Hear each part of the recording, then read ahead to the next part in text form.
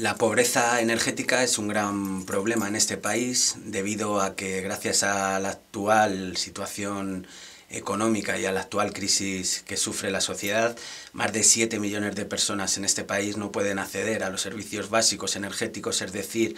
eh, muchas familias y sus hijos pasarán este invierno eh, frío en sus casas y eso no lo podemos permitir. Para ello, instamos a las administraciones públicas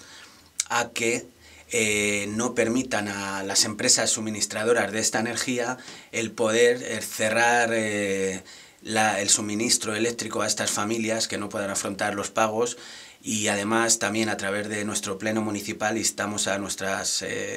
autoridades locales a que destinen un presupuesto de emergencia para estas familias, dotándolo de 20.000 euros este año 2015, con una modificación presupuestaria, por supuesto, y el año que viene ya implementar unas ayudas de emergencia de 40.000 euros, porque no podemos permitir que nuestras familias y nuestros hijos pasen frío este invierno.